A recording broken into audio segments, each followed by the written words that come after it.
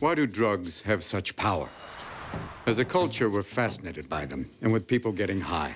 In the U.S. every year, we consume 100,000 pounds of cocaine, 4,000 pounds of meth, and over 700 tons of marijuana. That's a lot of drugs. What do they really do to our bodies, our lives, ourselves? To answer the question, we've created a unique experiment. A laboratory in which regular drug users perform physical and mental tests. Each one designed to scientifically measure the highs Heart rate's 150. Oh, it's hot in here. and the lows. Some degree of cirrhosis is 70%. Um, it's a little scary. of America's most notorious drugs. I would have liked to have smoked more. I think you'll be surprised by what you see. This is your body on drugs.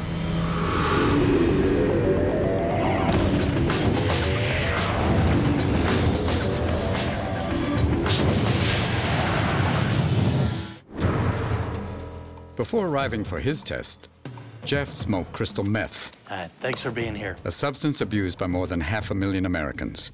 So how do you feel about it, about doing this task? It's probably the one that was suited for. I'll probably screw up the most. You have 20 minutes starting now.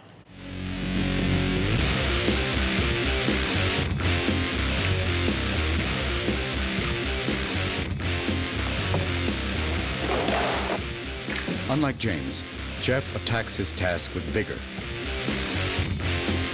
Like many meth users, he relishes activity. oh, wow. Yeah. Nice. So, I did it backwards. So, this is where the tweaker in me comes in hands. Meth takes every nerve, and you're like, uh, you're alive. I mean, you're definitely alive. You're wide awake. You're alert. You're like a guard dog in an unsafe neighborhood.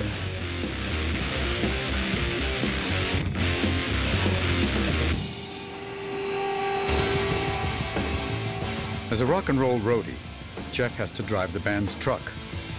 Well, we're the first one in, we're the last one out. You know, a lot of hurry up and wait. That's when he started using. It's just like a weird electric blanket to wear that stimulates you the whole day. And then it just becomes the thing you just do. Like heroin and cocaine, meth is highly addictive. Once used, the body craves it. Withdrawal is painful and depressing, but continued use is even more dangerous. All systems are on overdrive.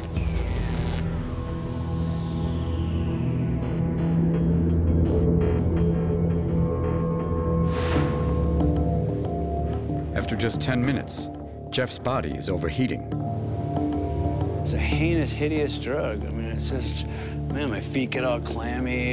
Yeah, definitely makes you sweat. Oh, thanks. Sure. Six and a half minutes left. On meth, users burn as many calories just sitting still as most people would from a 15-minute workout. Combine meth use with physical exercise and the body starts to broil, releasing two to three times its normal volume of perspiration.